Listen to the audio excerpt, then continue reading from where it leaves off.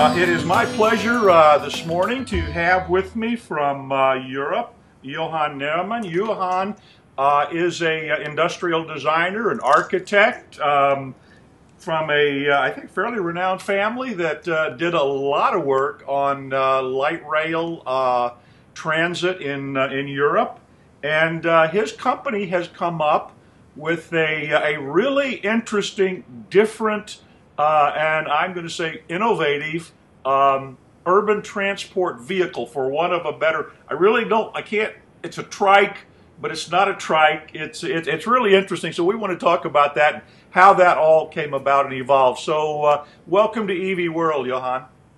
Hi, Bill. Nice to see you. It's it's great to have you with us. Well, first of all, let's talk a little bit about uh, your background and and the and the family because this is a real contrast. You guys have done these big, heavy trains, basically, and done design work on those. And now we're talking about something that I'm guessing I didn't see the weight specs on it, but I'm guessing it's probably only a couple hundred pounds. Um, oh, it's uh, even lighter than that. Even lighter I, than that. that frame will go between 35 kilogram to 75 kilograms without okay. the batteries. Okay. But it's a very light vehicle versus what we did in the past, indeed. Right. Okay. Uh, you want to understand why we, we yeah. So how so how does how does one get from locomotives and subway cars and trams and funiculars to to something uh, uh in the nature of the uh, Johanson3? Well, it's a question that basically points out to different answers. First, uh, it's not often that you have a family business that's passed on on the second generation. Right. So consequently, that has a different perception. Right. And secondly, thanks to my studies in the United States and system thinking, I was able to zoom out of the business and have a global uh, overview of what the future was uh, basically holding in terms of mobility, in terms of finances, in terms of global issues. Right. Now, I understood in the early 90s when um, our office designed the most advanced tramway ever designed, which is the tramway of Strasbourg, because we came up with a lower floored vehicle from nose to nose at the same level as the platform, right. uh, which, which, was called the Eurotram and which has been trying to be reproduced by several other a manufacturer and I had some patents with some even better vehicles later on. But I understood that the financial equation behind those tramways was basically not viable. That you needed at least 20 kilometers of track for a, a city with more than 250,000 people. Uh, we have yeah. seen many smaller cities taking on board this type of transport solutions to justify a company which at the end of the day, as you know, Alstom has been purchased over by a US firm. Yep. So I understood that very quickly, and that basically everything would rest on the shoulder of the taxpayer, and that basically the influence of imposing such heavy structures by uh, a, well-negotiated coach cost between two or three million the coach, which is not that much, but it will cost for the linear meter of track without electrification, yeah. uh, engineering costs, etc., etc. So I understood after having studied in the US also that Europe was going to fail in the early 90s, and that the future of mobility was going to be in the hands of the individuals if right. they wanted to make a difference for the planet. Right. And consequently, you had to provide them with a tool that was highly functional, cheap, but a real answer to the need. Or today, what is the real need in terms of mobility? It's the last mile. Right. Cities try to prevent you to get closer to where you want to be with your car. They want to put it somewhere where it's sleeping and it's paid for. That's a good equation. But or you drive the car and it moves on and you have to respect the speed, or you're in the street and you take space and it's the, the, the worst scenario case for you because you don't know if your car is going to be is, going, is still going to be there, if it's going to be fine, and you have to move on. Yeah. So what are the tools available when you uh, when you have you come out of the subway, you come out of a tramway, you come out of a station, you come out of a cab? Well, you have your feet, or today you have two wheelers. Right. Not everyone wants to be on a two-wheeler. Not everyone wants to be sweaty. But some people want to be dressed the way they want. You want to have payload capacity. You want to be able to go to all the attractiveness spots of a city that makes it interesting. But if the city regulation prevents you for getting there and prevents your freedom of movement, they are in big I would say, disequilibrium. And that's where we are today. And this is where a vehicle can be uh, purchased, can be leased, can be rented, can be used, and is a real great alternative at a very cheap solution. It's foldable, it's uh, dismountable, you can use it for a miniskirt, a djellaba, a sari, a kimono, or even a Scotsman. It means that it has a high seat position and that basically it's the friend of the pedestrian. And it can go up to speeds up to uh, 50 kilometers per hour or 70 okay. miles. Uh, no, uh, 50 miles per hour, 70 kilometers per hour. Sorry. Right. Yeah. yeah.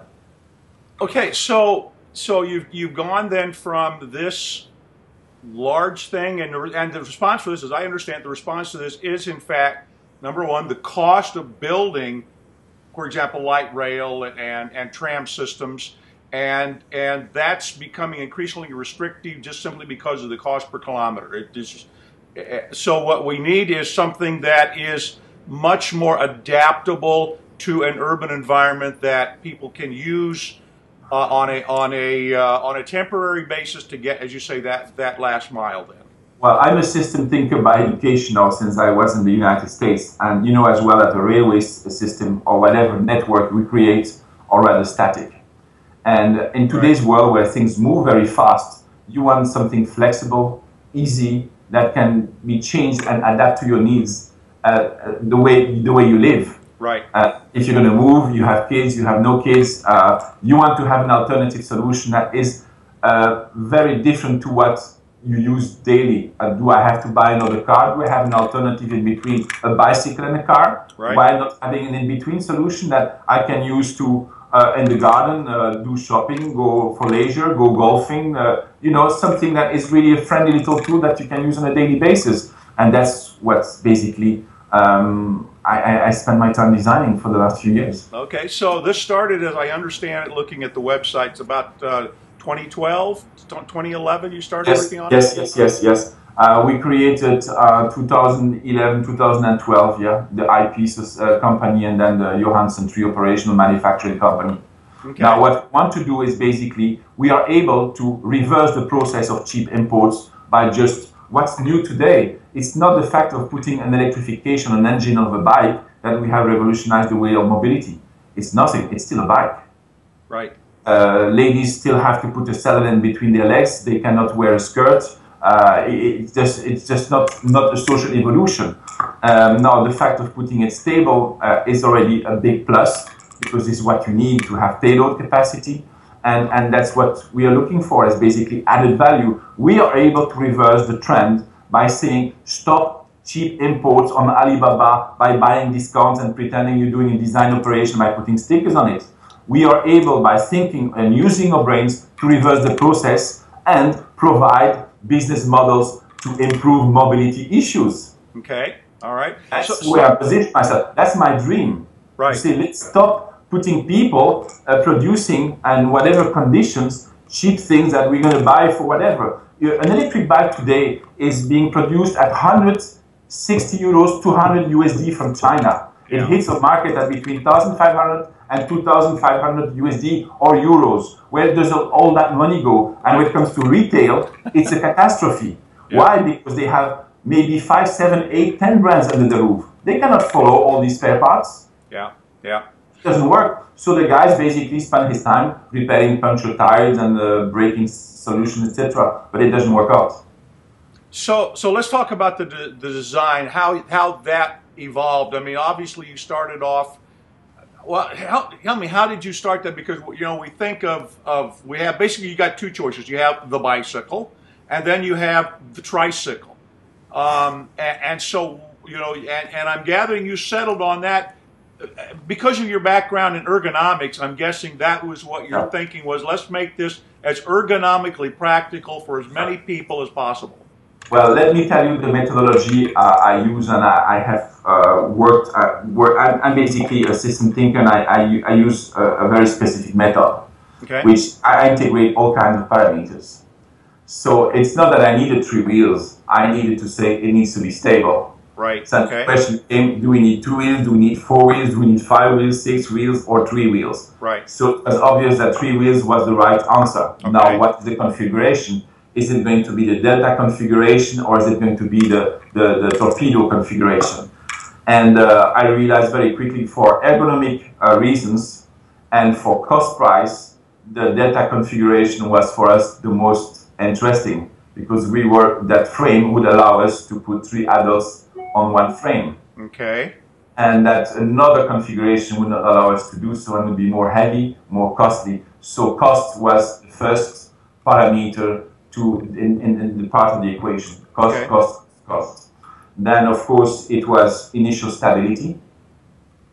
Then of course it was optimized ergonomics and performances and added value towards interface man-machine and the user, which is a pedestrian. The first thing to do for moving in the morning is putting our socks and shoes. Right. Then when we go out, we put a jacket, and then if you want to transport something, if we don't have a car, we have bags on the end of our hands or a backpack. Right. That's the basic. That's Right. human.